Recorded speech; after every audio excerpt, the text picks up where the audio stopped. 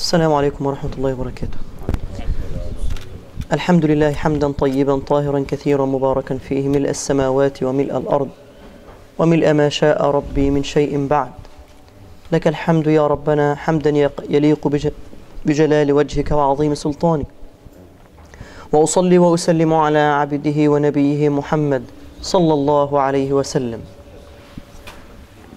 أما بعد فيا أيها الإخوة الأحباب أخ سألني عن رفع اليدين في الدعاء بشيء من التفصيل.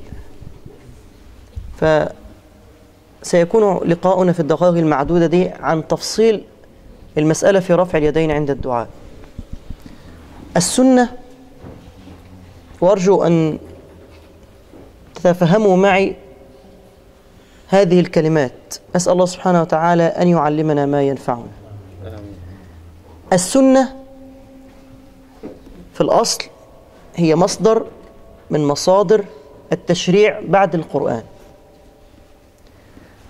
وسنة النبي صلى الله عليه وسلم إما أنها سنة قولية أو سنة فعلية أو سنة تقريرية. يعني إيه؟ قول النبي سنة. فعل النبي سنة. سكوت النبي عن شيء رأى الصحابة يفعلونه فهذا إقرار منه بصواب هذا العمل. فهي سنة تقريرية. إقرار من النبي بأن هذا العمل صواب. إلا فيما أنكره النبي على من يفعل أي فعل. طيب. يبقى إحنا عرفنا قولية فعلية تقريرية. يبقى كل ما فعله النبي صلى الله عليه وسلم فهو سنة نعمل بها على إطلاقها كما فعلها إلا فيما ورد فيه حكم خاص. يعني إيه؟ يعني أحيانا هناك بعض المسائل يكون أو تكون السنة فيها عامة. ولكن في هذا العام خصوص. الخصوص ده يعني إيه؟ يعني الحكم العام شيء وفي بعض المواطن ليها أحكام خاصة بس خاصة به. طب الأحكام دي جت منين؟ من فعل النبي صلى الله عليه وسلم. طيب إيه إيه لازمة الكلام ده؟ ده عشان نوصل بيه للإجابة على السؤال إن شاء الله. السنة في الدعاء كما ذكرت أن يرفع العبد يديه عند الدعاء. دي سنة لقول النبي صلى الله عليه وسلم إن ربكم حيي كريم يستحي إذا رفع العبد يديه أن يردهما صفرا. والثابت عن النبي صلى الله عليه وسلم أنه كان يرفع يديه عند الدعاء حتى يظهر بياض إبطيه وده ثابت كما في الحديث. يبقى الأصل في من السنة في الدعاء رفع اليدين عند الإيه؟ عند الدعاء. طيب رفع اليدين هل الحكم هنا عام عند الدعاء عموما يعني في كل الدعاء؟ آه في كل الدعاء. هل طب مقرون بوقت معين؟ لا. بس اللي ورد في السنة هو الترغيب في أوقات معينة. فالإنسان يدعو الله سبحانه وتعالى في أي وقت في أي وقت عايز تدعي ربنا ادعي ربنا سبحانه وتعالى. لما قال الله وقال ربكم ادعوني أستجب لكم لم يحدد وقت ولا زمان ولا مكان للدعاء. بل رغب النبي صلى الله عليه وسلم في أوقات يستحب فيها الدعاء تحريا لمواطن الإجابة. إن بيكون الدعاء فيها مستجاب كما ذكرت في مواطن إجابة الدعاء أو في أوقات التي يستحب فيها أن يك أن يكثر العبد من الإيه؟ من الدعاء بين الأذان والإقامة في السجود عند نزول المطر والحاجات ذكرتها قبل كده إن شاء الله يعني. بعد كده قلنا إن الثابت أنه كان يرفع يديه عند الدعاء إذا العبد يرفع يديه عند الدعاء في كل الأحوال إلا فيما ورد من مواطن الدعاء التي لم يرفع فيها النبي صلى الله عليه وسلم يده. يبقى في حكم عام إن من السنة رفع اليدين عند الدعاء اظهارا للخشوع والخضوع والإفتقار والتذلل للملك سبحانه وتعالى. ولكن يستثنى من هذا حكم خاص. ما هو هذا الحكم الخاص؟ هو رفع اليدين للإمام أثناء خطبة الجمعة. هل يجوز أم لا؟ لا يجوز. ليه؟ لأن ذلك لم يثبت عن النبي صلى الله عليه وسلم. ما ثبتش عنه. هات دليل يقول إنه رفع إيديه في أثناء الخطبة خد بالك إحنا هنطرق من عام لخاص لما هو أخص. فالثابت أنه كان لا يرفع يديه في أثناء الخطبة. طيب مال كان بيعمل إيه؟ كان يرفع السبابة هكذا. هكذا كان يفعل النبي صلى الله عليه وسلم وهذا هو الثابت عنه أنه كان يرفع السبابة هكذا. والمصلين طيب يعملوا من وراء إيه؟ يرفعوا إيديهم؟ لا. طب هل فعل الصحابة ذلك؟ لا. لم يفعلوا ذلك. الصحابة لم يرفعوا أيديهم عند دعاء النبي فقط خد بالك من القيد فقط في أثناء خطبة الجمعة فقط. ولو كان فيها شيء لأرشد النبي صلى الله عليه وسلم الصحابة إليه. لو كان الأمر ده فيه شيء كان كان النبي يرشد الصحابة أنهم إيه؟ يرفعون أيديهم عند الدعاء في الخطبة الثانية من خطبة الجمعة. معايا؟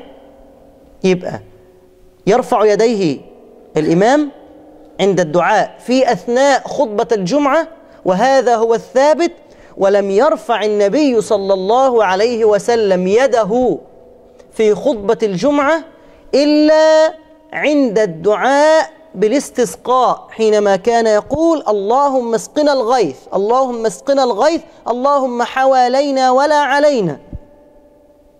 هو ده الثابت عنه أنه كان يرفع يديه في أثناء خطبة الجمعة فقط عند الاستسقاء عند طلب نزول المطر من السماء. بس هو ده الثابت عنه. وبعد ذلك مفيش رفع ايديه طيب المصلين الجالسين يعملوا إيه؟ يرفعوا إيديهم في أثناء الدعاء؟ برضو لا. إلا لو كان الدعاء للاستسقاء. ده ثابت عن النبي صلى الله عليه وسلم. يرفع يديه عند الاستسقاء فقط. طيب جزئية تانية بقى. خلاص كده الحكم واضح بتاع خطبة الجمعة؟ تعال بقى الجزئية تانية. اعتادها كثير من الناس. وهي رفع اليدين بعد الانتهاء من أذكار الصلاة. بعض الناس بعد ما يخلص أذكار الصلاة يرفع إيديه ويدعي. طيب إيه حكم المسألة دي؟ هل يدعو عقب الأذكار ولا لا يدعو؟ طيب إن دعا هل يرفع يديه عند الدعاء أو لا يرفع يديه؟ للعلماء في المسألة دي قولان. لهم فيها قولان. أو رأيان. الرأي الأول بأنه لا يجوز لا يجوز رفع اليدين عقب أذكار الصلاة عند الدعاء أو الدعاء بعدها. بمعنى إيه؟ إن أغلب الناس اعتاد إن هو بعد ما يختم الصلاة يوم يرفع إيده وإيه؟ ويدعي فقرن فقرن الدعاء بالأذكار. خدوا بالكم معايا انتبهوا معايا. إنه قارن الدعاء بالأذكار. فهنا علشان النبي صلى الله عليه وسلم لم يفعل ذلك ومن هنا استدلوا بأنه لا يجوز ذلك. بل الثابت أن النبي صلى الله عليه وسلم رفع يديه للدعاء بين الأذان والإقامة ولم يدعو عقب الانتهاء من أذكار الصلاة. فهنا استدلوا بالدليل ده إنه رفع يديه بين الأذان والإقامة ولم يرفع عقب ختم الصلاة لما ختم الصلاة لم يرفع يديه ويدعو الرأي الثاني رأي يجيز الدعاء عقب الأذكار ويجيز رفع اليدين. ولكن هنا في المسألة في وقف. الذي أج... الذين أجازوا رفع اليدين والدعاء عقب الأذكار مباشرة أجازوها على أن الدعاء خد بالك من الحتة دي على أن الدعاء عبادة مستقلة الدعاء هو العبادة يعني إيه؟ يعني هو خلاص خلص الصلاة وخلص أذكار الصلاة وكده هو إيه؟ ختم أذكار الصلاة بعد كده هو بينتقل هو هنا بقى في وقفة هنا إنه لابد لهذا الدعاء من إنه هو يحدث نية جديدة. إيه النية الجديدة دي؟ هي نية تجديد العبادة بهذا الدعاء. إن أنا أدخل في عبادة جديدة ألا وهي عبادة الدعاء. حتى لا يكون هناك ربط بين الدعاء في هذا الموطن وبين ختم إيه؟ أذكار الصلاة. خدتوا بالكم معايا من المسألة دي؟ يبقى لو عاوز يدعي يجوز له إن هو يدعو ولكن بشرط إن هو يجدد النية أن هذه هي عبادة مستقلة. ويا حبذا لو لم يفعلها بالاستمرار حتى لا تصبح واجبة حتى لا يصبح هذا العمل في حكم الواجب. إنه بعد ما يخلص يدعي إنه بعد ما يخلص الأذكار يدعي لا يغير من وقت لآخر. مرة يدعو ومرة لا يدعو.